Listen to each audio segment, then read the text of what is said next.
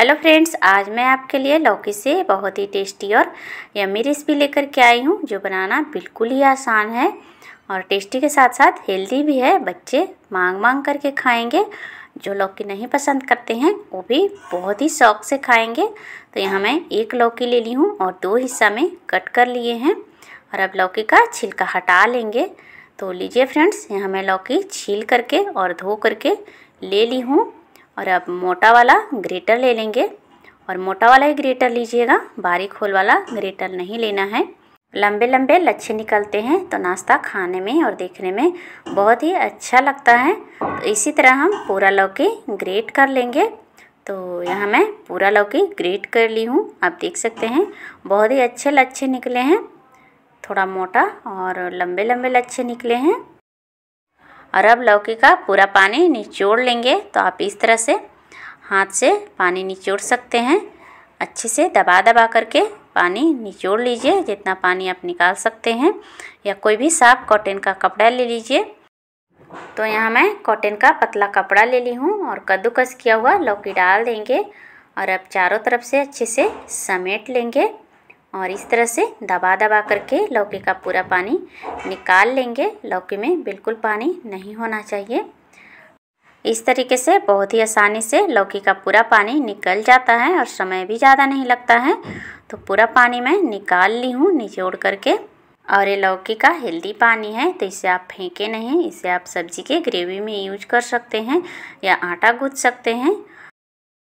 अब एक mixing bowl में लौकी डाल देंगे। तो आप देख सकते हैं, लौकी का पूरा पानी निकल गया है। लौकी में पानी रहेगा तो हमको बेसन का ज़्यादा यूज़ करना पड़ेगा। तो नाश्ता अच्छा नहीं लगेगा, इसलिए पूरा पानी अच्छे से निचोड़ लीजिएगा। और अब आधा इंच अदरक को बारीक वाला ग्रेटर से ग्रेट कर लेंगे, या आप अदरक का पेस्ट भी ले सकते हैं। और अब प्याज डाल देंगे। तो यहाँ मैं एक मीडियम साइज़ के प्याज को बारीक बारीक काट करके ले ली हूँ।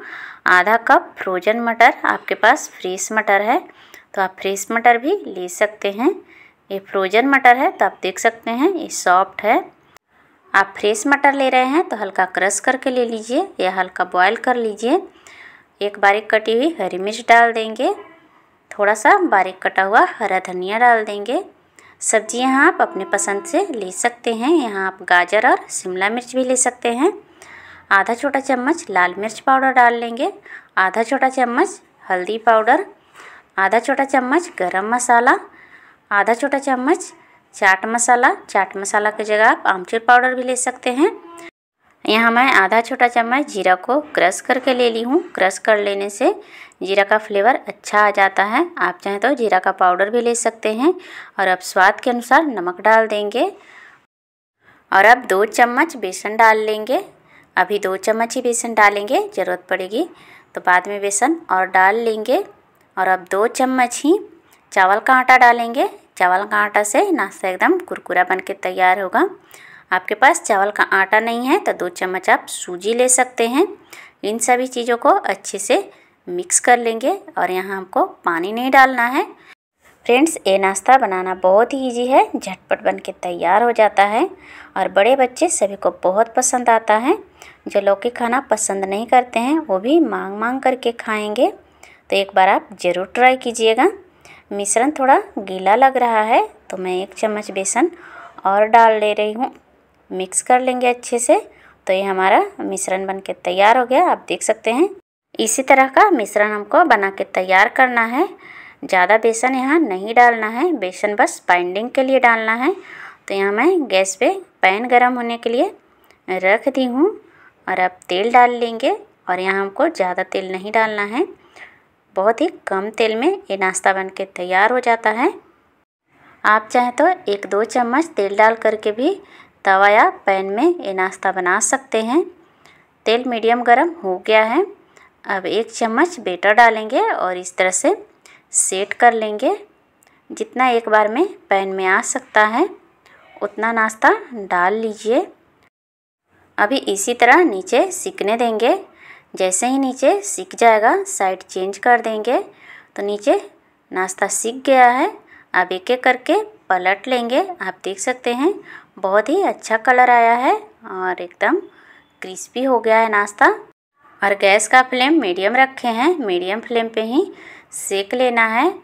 और दूसरे तरफ़ भी क्रिस्पी होने तक, गोल्डन कलर होने तक नाश्ता को सेक लेंगे। तो दोनों तरफ़ नाश्ता क्रिस्पी हो गया है। आप देख सकते हैं, बहुत ही प्यारा कलर आया है। अब निकाल लेंगे।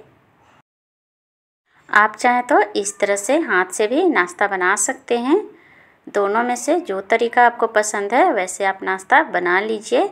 तो बाकी नाश्ता इसी तरह मैं बना लूँगी। तो ये हमारा दूसरा बैच का भी नाश्ता बन के तैयार हो गया। इसे भी निकाल लेंगे। तो लीजिए फ्रेंड्स, लौकी का बहुत ही टेस्टी और चटपटा ये हमारा कटलेट बनके तैयार हो गया। इसे आप किसी भी चटनी या चाय के साथ खा सकते हैं। ये खाने में बहुत ही टेस्टी लगता है। ऊपर से क्रिस्पी और अंदर से बिल्कुल ही सॉफ्ट है। तो फ्रेंड्स, यदि ये हमारी वीडियो आपको पसंद आई हो तो ज़्यादा से ज़्यादा फ्रेंड और फैमिली में शेयर कर दीजिए और चैनल पे नए हैं तो चैनल को सब्सक्राइब कर लीजिए। साथ में बेल आइकन को भी प्रेस कर लीजिए ताकि नए वीडियो का नोटिफिकेशन आपको सबसे पहले मिल सके।